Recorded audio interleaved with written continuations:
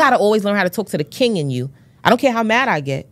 And I had to learn, I learned that in therapy, that for me to manifest the man that I wanted in my life, I had to learn how to always speak to him like the man I wanted in my life, even when I'm mad at him. Teach that shit. You know sis. what I'm saying? Say it And.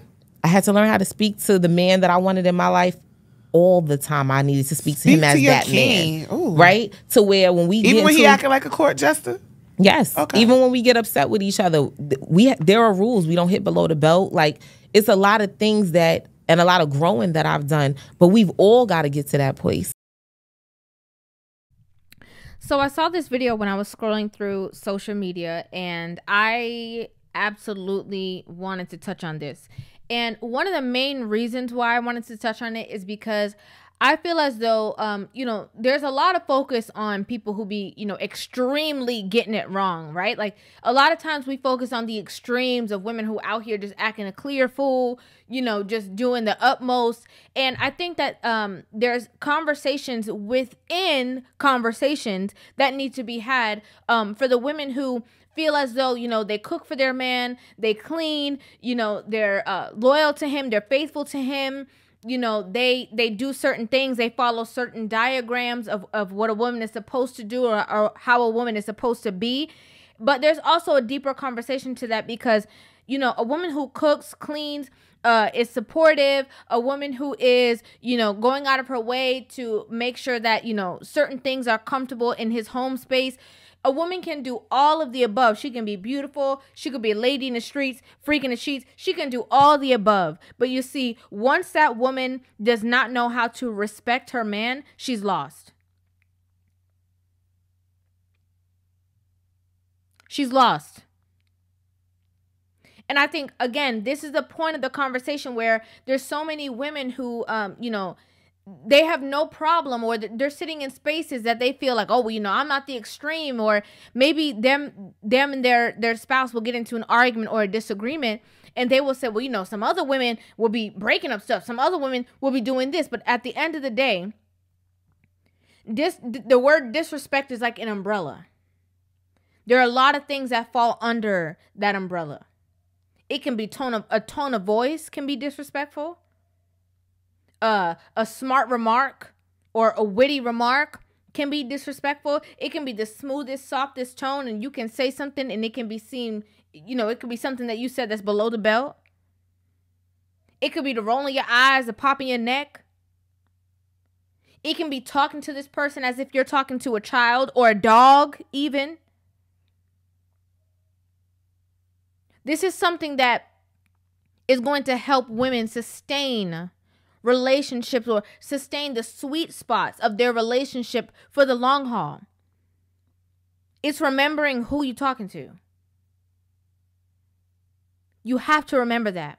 There are people who have been together for a long time, maybe 10 years, 15 years, who every day they still have to relearn this lesson.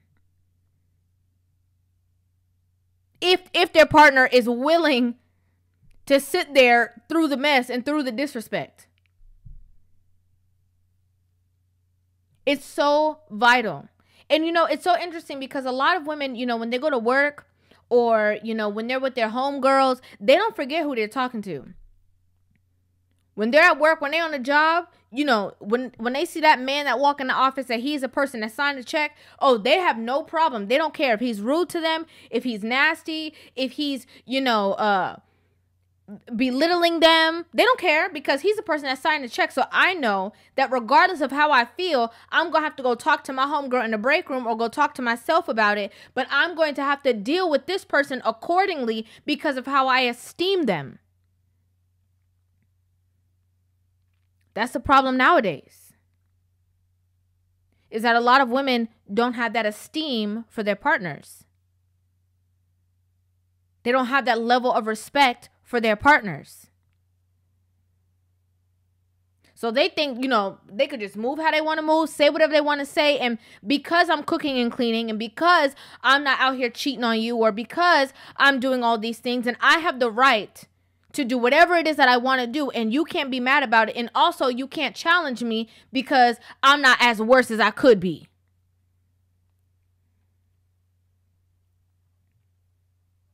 this is such a big lesson like i said for women because women love to use their their um, mouth as combativeness you know they love to, to have that thing where they can you know out talk you you raise their voice higher than yours you know snap back have a uh, you know say something that's gonna hurt your feelings they're gonna say something that really hurt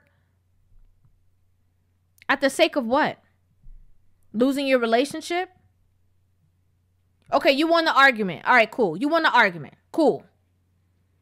Okay, you had the last word. Awesome. Now you ain't got no man. Now what? What's the plan now? What's the game plan? Because now you ain't got no man. You don't want an argument. You don't had the last word. You don't, you know, hit him where it hurts.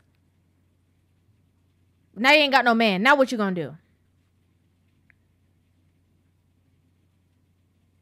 Most of the time, a lot of women who use their mouth in in their um, relationships you know that combat that combative and, and rude and disrespectful nature a lot of women they don't see the problem they don't see the problem and i'm to use this for an example you know like when we watch like um you know reality tv or uh you know certain things women have this dialogue that they communicate to the to each other in a certain way, right? So no, they don't forget who they're talking to when they're on good terms with their homegirl, but at the same time, when they're not on good terms with their homegirl and they're going at it, they can say anything, and then a woman to a woman will be like, "Okay, well, I forgive you. I understand. You were just mad. I was just mad too." That's how women communicate with each other.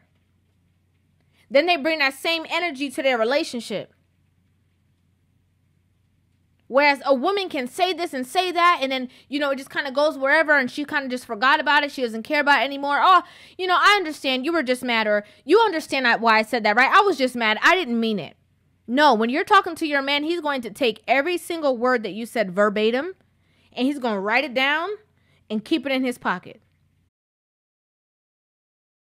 Because he is taking your words, because when men say things, more times than not, they are saying things that they mean. So when you are saying something to him, he is taking it that you mean this. So let me go ahead and write this down because she meant what she said.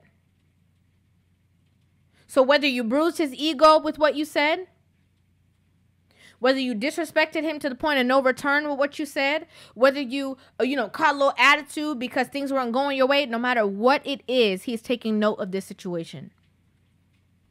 And what's unfortunate for a lot of these uh, women out here that think they're all, you know, right and, and, and mighty. Oh, you know, I got a man, and not this. And you mistreat him and you disrespect him and you talk to him bad. A lot of you guys are talking or arguing your way out of the relationship. The bragging rights that you have with your homegirl because you actually got a man, you talking your way out of it. You one argument away.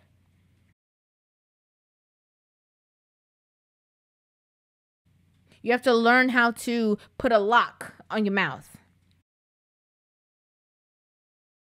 And it doesn't mean, especially when somebody who grows up with an aggressive nature or uh, aggressive nature, right? Or, you know, even there are some women who grow up with an aggressive way of speaking, and it's not because they're being aggressive. It's just because that's how they communicate. Maybe that's the people that they are around. That's how they communicate, and so it's kind of been this thing that they they've grown with. They have an even harder time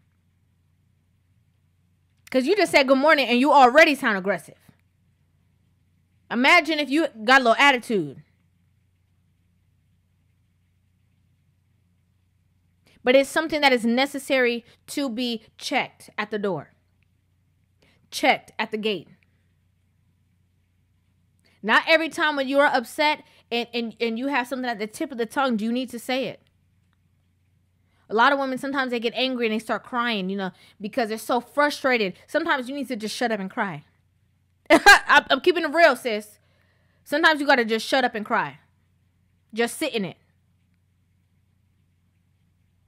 If you don't think that you can articulate it properly, maybe you need to write a text message or write it down on a piece of paper. Because sometimes relationships are over and uh, you know women again they they talk themselves out of a relationship for something that will not matter in an hour or two for something that was not that big of a deal you arguing down for something that literally means nothing. That will you won't even remember that conversation in a month. Maybe even next week. You absolutely have to keep in mind who you're talking to. The way that you articulate yourself to this person because a lot of it's so funny cuz a lot of women a man can't even look like he gonna say something back to her or or rude to her in a certain way before she ready to just go off. But then they're so quick with their mouth because they think that there's no problem. Nobody can't tell me nothing. Nobody can't say anything. How dare you? Oh my gosh, I can't believe you said this to me. It's all about you. It's all about you and your feelings and what you think and what you feel and what you know. You act like everybody else don't matter. I hate to break it to you. but he has feelings too. He has emotions too. And again, women want, you know, the attention, the admiration, the love, the caress, the this, the that. Men want respect. All that other stuff is additives. Bottom line, they want respect. That's how a lot of women can be with a man, and they can be the ones that's cooking and cleaning and this and that. I do everything for you. I'm doing all this stuff for you. And then he leave and he go get into a relationship and get married, and people they be shocked.